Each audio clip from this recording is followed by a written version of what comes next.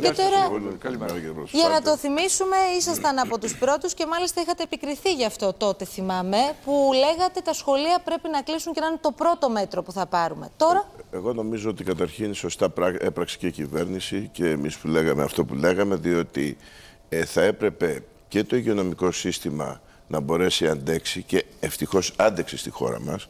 Είδατε σε διπλανές χώρες που δεν άντεξε ποιες ήταν οι επιπτώσεις Μιλάμε για ανθρώπους, μιλάμε για mm -hmm. χιλιάδες ανθρώπους, όπου αυτό θα ήταν πολύ καταστροφικό και για τη χώρα μας.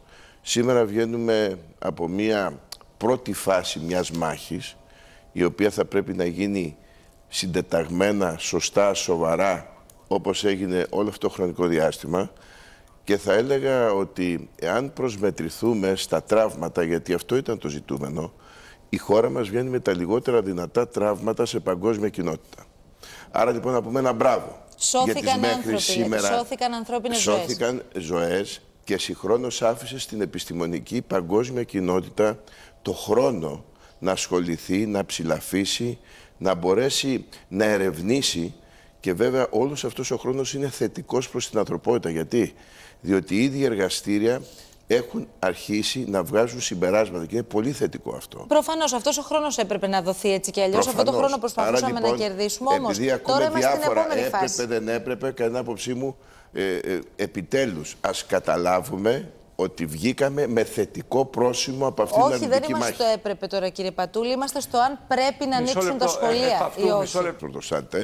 Εμείς από την πρώτη στιγμή, σαν περιφέρεια, δίνουμε τις άδειες λειτουργίας και προσωπικά από τις 11 Μαρτίου, 12 Μαρτίου στείλαμε επιστολή απαγόρευσης επισκεπτηρίου στα γυροκομεία και φροντίσαμε για τους φροντιστές και πρέπει να πούμε και ένα ευχαριστώ στους φροντιστές των γυροκομείων να έχουν την πρώτη ύλη προφύλαξης και φροντίσαμε για μάσκες που δεν υπήρχαν. Κύριε Προσέξτε Πατούλη, πόσο σημαντικό είναι αυτό που λέει όμως ο κύριος ε, Πρωτοσάλτης Επειδή σήμερα. βλέπω και τα μηνύματα όμως που μας έρχονται από γονείς, θέλω να ρωτήσω το εξής. Γιατί ανοίγουν τώρα τα σχολεία; Υπάρχει ουσία σε αυτό ή γίνεται, και σας το μεταφέρω έτσι όπως μας το θέτει εδώ και ο κόσμος, ή είναι για να τεσταριστούμε και με έναν τρόπο και να δούμε τις αντοχές της κοινωνίας; Κοιτάξτε, εγώ θέλω να, να πω μέσα από την ε, ιδιότητα και του γιατρού προφανώς, ότι αυτή τη στιγμή βρεθήκαμε από, φεύγουμε από το πρώτο σοκ. Ε, προφανώς η τρίτη ηλικία έπρεπε να αλλάξει ε, και προφανώς έπρεπε και το, ε, το λύκειο.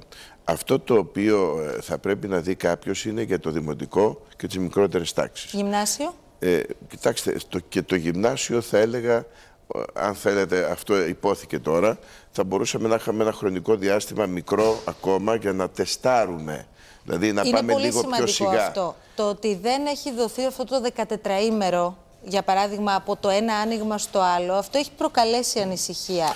Θα, θα είμαστε ασφαλείς με αυτόν τον τρόπο, Κοιτάξτε, κύριε ε, θα πρέπει να γίνουν όλα αυτά τα μέτρα τα οποία είναι προς θετική κατεύθυνση. Είμαι εις θέση να γνωρίζω ότι έγιναν πολύ ωραίες συζητήσεις και ειδικών δημοξιολόγων για να βγουν αυτά εδώ τα μέτρα.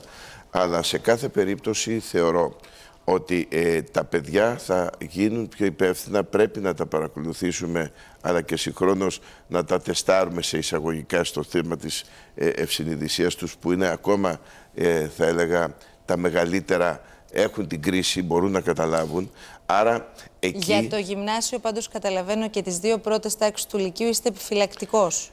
Ε, είμαι, όχι, θα έλεγα για τις ε, δύο τάξεις του Λυκείου θα μπορούσαμε να προχωρήσουμε. Θα έπρεπε λιγάκι να αφήσουμε κατά την άποψή μου ένα μικρό χρονικό διάστημα ε, για να μπορέσουμε. Δεν χάθηκε ο, ο κόσμος, δεν χάθηκε. Εδώ βρισκόμασταν σε μια διαδικασία. Πάρα τα αυτά, και έτσι το οποίο υπόθηκε. Τα δημοτικά τα ξεχνάμε από ό,τι καταλαβαίνω. Βάσει δημοτι... αυτής της σκέψης. Τα, τα, δημοτικά, νομίζω ότι μέχρι πρώτη. Δεν θα προλάβουμε. Θα πρέπει να ξανακλείσουμε. δηλαδή. Μέχρι 1η Ιουνίου, μέχρι 1η Ιουνίου θα έχουμε το χρονικό διάστημα να μπορέσουμε όλα αυτά να καταγραφούν. Παίρνουμε Ξέρετε, ρίσκο, κύριε Πατούλ, αυτή τη στιγμή; Κοιτάξτε, ε, αυτή τη στιγμή έχουμε μία περίοδο που αυξάνεται η θερμοκρασία. Ε, είναι σίγουρο ότι η μεταδοτικότητα του ιού, ε, τουλάχιστον με τα πρώτα δεδομένα, μειούται όσον αφορά τη μεταδοτικότητά του. Είναι σίγουρο αυτό, ε, κύριε Πατούλ. Θα φανεί σε μια ε, εβδομάδα. επαναλαμβάνω ότι σύμφωνα με τα πρώτα στοιχεία, έτσι, δεν είναι μια διπλή τυφλή πτυχιοποιημένη μελέτη η οποία να μας δίνει αποτελέσματα, φαίνεται όμως αυτό. Και από την άλλη πλευρά ε, είπε και ο κύριος ε, ε, Πορτοσάλτε, ο οποίος ε, έχει έναν ρεαλισμό, υγιή ρεαλισμό των πραγμάτων. Ρεαλισμό το λέμε τώρα. Ναι, όχι, όχι, υγιή ρεαλισμό. Με ποια έννοια το λέω; Ότι κάποια στιγμή και οι κοινωνίες ε, πρέπει να α, διαφυλάξουν τις οικονομίες γιατί και η υγεία ακόμα και ακόμα η διατήρηση του υγειονομικού συστήματος εξαρτάται από την οικονομία. Άρα, φύγαμε από μία πρώτη περίοδο η οποία ήταν σοκαριστική. Εμείς φύγαμε με τα λιγότερα τραύματα. Μάλιστα. Θα πρέπει να γίνει εκπαίδευση των εκπαιδευτών καλή των, μα- των καθηγητών στο επίπεδο της διαφύλαξης όλης αυτής της ε, Ώστε να είμαστε διαδικασίας. έτοιμοι και το Σεπτέμβριο, καταλαβαίνω. Ακριβώς. Μάλιστα. Εγώ μπήκα ξέρετε- σήμερα στο αυτοκίνητο. Μάσκα, προφανώς για να μην διαδώσουμε ενδεχομένως τον ιό. Εμείς Έτσι, για να προστατευόμαστε που προστατευτούμε. τη φοράμε. Η ουσία είναι ότι κυρίως είναι για να μην διαδώσουμε τον ιό γύρω μας. Αλλά σε κάθε περίπτωση, αυτή τη στιγμή, όταν πρέπει να βγούμε και βγαίνουμε έξω, η μάσκα είναι απαραίτητη τουλάχιστον στο να μπορέσουμε να μ- ακόμα μειώσουμε την πιθανότητα της μεταδοτικότητας του ιού. Εμείς από την πρώτη στιγμή, στα ιατρία μας παραδείγματος χάρη, που εγώ πιστεύω με πολλή δυσκολία κρατήσαμε τα ιατρία μας ανοιχτά και ενώ η πρωτοβάθμια ιατρία ήταν πολύ ουσιαστικό και δεν έχει, τονι, δεν έχει τονιστεί ιδιαίτερα.